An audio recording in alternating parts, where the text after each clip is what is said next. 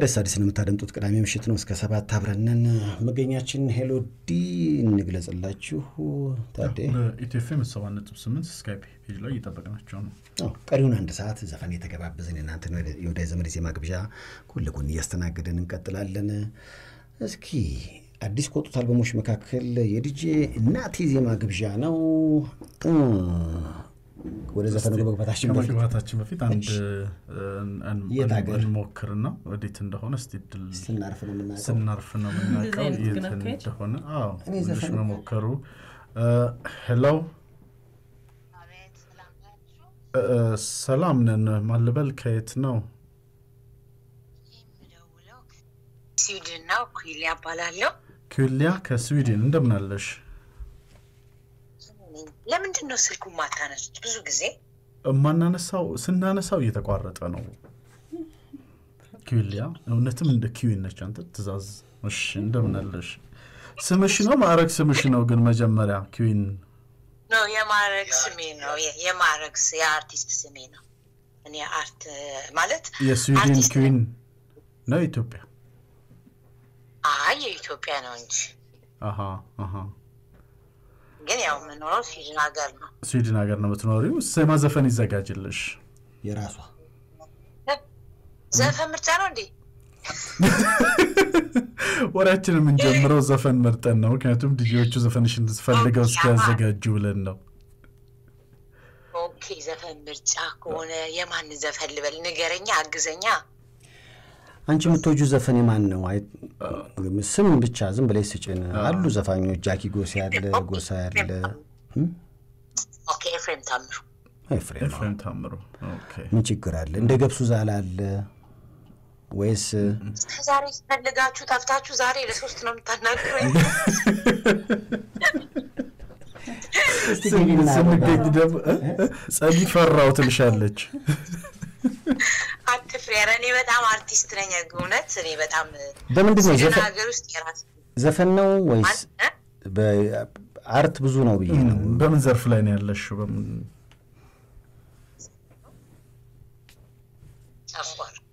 hello የራሴ አላችሁ። okay የራሴ stand-up comedy እየሰራሁ ነው ስዊድን ውስጥ። በአማርኛ ወይስ በስዊድን ቋንቋ? no በአማርኛ ነው የምሰራው። wow okay። ክበበው ገዳ በስዊድን ክበበው ገዳ በስዊድን ማለት ነው። እሺ ክበበው ገዳ እኮ ኡበር ጀምሯል። እኔ እኮ ኡበር አልጀመርኩም። እውነትም stand-up comedy ክበበ ኧረ ደውል ክበበው ደውል ይደውላል። አንቺ በ- በኮሜዲ ብቻ ነው የምኖረው ነው የምትለው። no እኔ actually ስራዬ ሌላ ነው። እዚህ ሀገር ቆይቻለሁ። ከኢትዮጵያ ከመጣሁ በጣም ቆይቻለሁ። ግን አውቃለሁ ማለት የሀገር ቤታችንን ነገር አውቃለሁ እና በዛ mood ውስጥ ነው ያለሁት። mood ኤም አልጠፋም። ስዊድን ሀገር እስቲ የሆነ ቀልድ ንገሪን እስቲ ትንሽ stand-up comedy ከምታውቀው ታዳሚ እንሆን እስቲ ከስራዎችሽ አሁን የዚህን ሀገር ሀበሻ actually አታውቁትም እናንተ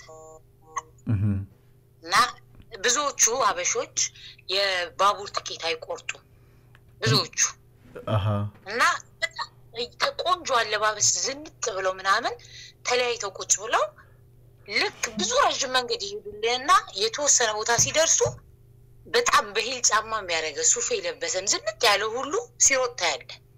አንዳንዱ ላለመክ ማለት እንትኖች ሲመጡ ተቆጣጣሪዎች ሲመጡ ሱፍ ለብሶ ባዶ እግሩን የሚሮጥ ሰው አይተህ ታውቃለህ?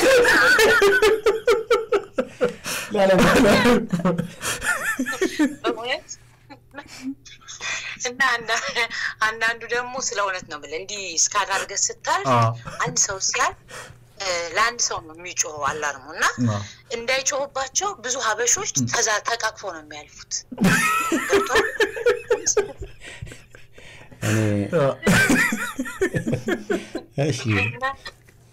ገባ ያንን ያን እና ሪል ላይፋቸው ላይ አሁን ለምሳሌ ልጆቻቸውን ዋና ቦታ ይዘው ይሄዱና ዛሬ ልጄን ዋና ቦታ ይዤ ቁጭ ብዬ ዋልኩ ምናምን ይላሉ።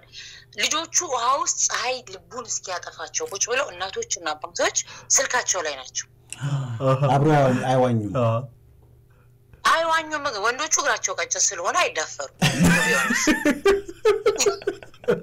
ሴቶቹስ ሴቶቹ ደግሞ ምን አለ መሰለህ ቦርጭ ወይ ቦርጭ ብቻ ሳይሆን confidence ገባ ከገቡ በኋላ በማይችሉት ቋንቋ no no no no no no no no እና በአማርኛ ቀስ ብሎ ነጮቹ እንዳይሰማቸው አንቄ እንዳልደፍቅህ ይላሉ።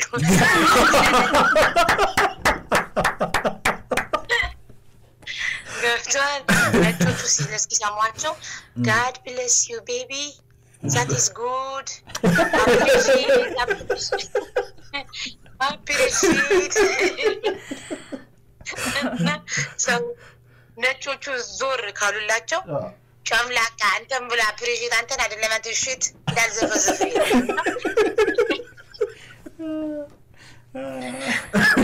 ሁለት አይነት ወላጅ ናቸው ማለት ነው። እንዴ ሁለት ሶስት እንጂ ስለ እውነት እዛ ላይ ደግሞ ማስተላለፍ የምፈልገው ደግሞ ምን እንደሆነ ታውቃለህ? actually እኔ ይህንን ፊት ለፊት የማቀርበው ነገር ነው። እያስተላለፋችሁ ነው እንዴ? አየር ላይ ነሽ እንዴ? live ነሽ። እሺ ቀጥይ። አዎ ከሆነማ ልጨምራ።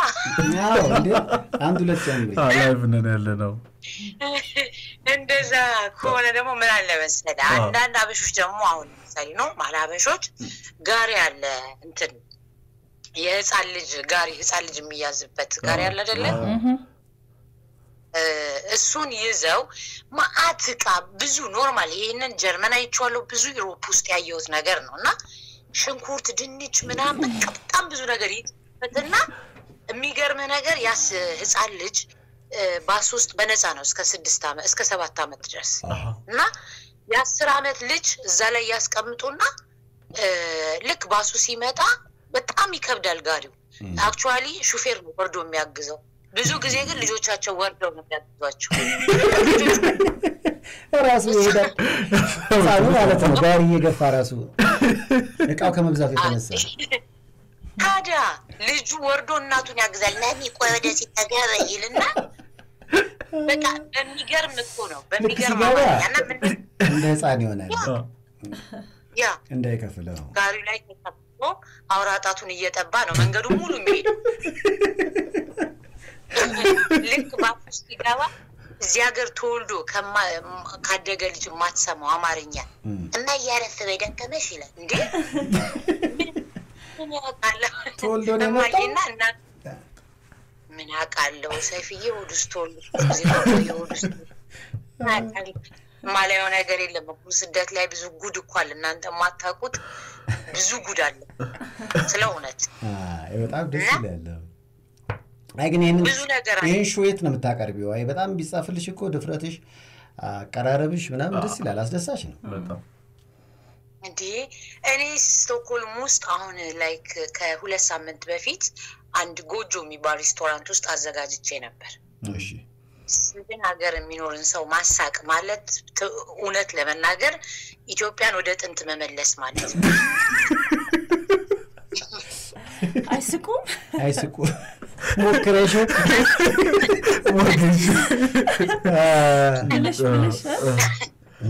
በረዶ በልቷቸዋል፣ በብዛት በረዶ በልቷቸዋል።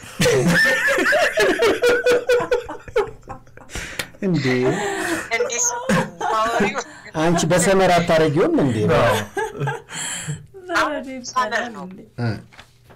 እርግጥ አሁን እኮ ሳመር ከባድ ነው። እርግጥ ኮሜዲያኖች ሲሉ ሰምቻለሁ። አሁን አሜሪካ ራሱ የፈለገ ጆክ ሲወራ መሳቃቸውን የሚናገሩት ጆኩ እንደሰሙ በሳቅ በእናት ሌላም ነው የሚሉት እንጂ ከከከከከ ብሎ የመሳቁ ነገር ወይ ደግሞ ቀስ ብሎ ነው የሚስቁት። አንተ ሌላ ጆክ ስትጀምር አሉ የሆነ ሳቅ ሲጀመር ስታይ ማን ተናገረ ሌላ ጆክ ቅድም የተናገርከው ገብቷቸው ነው። ስለዚህ ኮሜዲውን show በጣም ከብዶኛል ማቅረብ እያልሽ ነው። actually አልከበደኝም፣ ግን ኢትዮጵያ መጥቼ መስራት እፈልጋለሁ። እስካሁን አልከበደኝም። የከበደኝ ምንድን ነው ሰዓት አክብረው አይመጡም።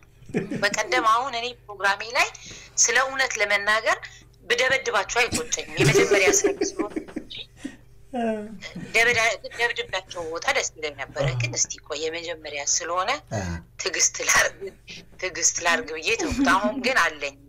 ድብደባ በሀያ ድብደባ ነው። እዛ ላሉት። አይ ያው እዚህ ላሉት በሀያ ዘጠኝ ኮንሰርት አለ። I think ታረቀኝ የሚባል ዘፋኝ ታረቀኝ ሙሉ። ታረቀኝ ሙሉ። ያ አንድ ደግሞ ሰለሞን የሚባሉ ዘፋኞች ይመጣሉ መሰለኝ። እና እዛ ላይ ስለዚህ እዛ መሀል ላይ የገባሽ ፈታ አድርጊያቸው። ትችያለሽ። እውነቱን ለመናገር በቃ ስትመጪ እዚህም እርግጠኛ ነኝ ብቸኛዋ ሴት ኮሜዲያን ቤቲ ዋኖስ ነች። እሷን ታግዣታለሽ። ማናት ቤቲ? ማለት ባውቃት ደስ ይለኛል። አብሬያት መች- የምችል ዋኖስ እዚህ የኮሜዲ show አለ ኢትዮ ኤፍኤም ላይ የ- ከድርሹ ጋር ድርሹ ዳና ከእሷ ጋር ትሰራለች እና ብቸኛ የሴት ኮሜዲያን እሷ ነች። አንቺ ደግሞ international፣ እሷ local። ስትገናኙ ድብልቅልቅ ነው የሚለው። wow okay፣ ያ በጣም አሪፍ ነገር ነው እና እናንተም ደግሞ ብትተባበሩኝ ጥሩ ነው። ምን ይመስ- ምን ይመስላችሁ? እንዴ በቃ ነገርኩሽ፣ ሳደበድቢን እሳቱን ብለሻል፣ ቅድም ብለሻላ። በደበድባቸው ደስ ይለኛል ስላልሽ ካላገዝሽ ስለምትደበድቢን እናግዝሻለን፣ ከጎንሽ ነን፣ አይዞሽ። እኔ እንኳን ስለ እውነት ለመናገር ያው ማለት የምናደደው በሰዓት ማያከብር ሰው ነው እንጂ እኮ actually አልደባደብ ስዊድን ሀገር እንኳን መደባደብ ሰው ማየት እንኳን ታውቃለህ ያስከስሳል። ግን ያናድደኛል። በቃ የሰዓት ለሰዓት ያላቸው ነገር በጣም ነው የሚያናድደኝ። በነፃ ብሉ በነፃ ነው የሚገባው ስትል ነው በሰዓቱ የሚመጡት። ደግሞ አንድ ሌ ፈልገው እንዳይደበድቡኝ እሺ። ታውቃለህ የሆነ ዝግጅት ሲኖር የሀበሻ ኮንሰርት ምናምን ሲኖር ብዙ ሀበሾች ሽቶ ቤት አለ። ሽቶ ቤት ነው ሁሉም ሀበሻ ሽቶ ቤት ሁለት ሰዓት ቀድሞ ሽቶ ቤት ይሄዳል። ሊቀቡ እና ታውቃለህ ከሚጨፍሩት faint አድርገው የሚወጡት እንደሚበዙ ለምን? የተለያየ ሽቶ ሽቶ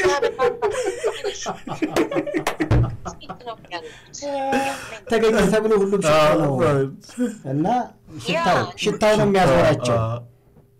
በቃ እዛ ውስጥ ገብቶ ዘፋኙ አምስቱ ነው የሚሆንብህ። ወድቀ እውነቴን ነው የምልህ በቡጢ ተመተ እንደወደቀ ሰው ነው የሚታይ ሰው ሁሉ። ድምፅ ብቻ ነው ዱፍ ዱፍ ሲል ጆሮ ላይ የሚሰማው።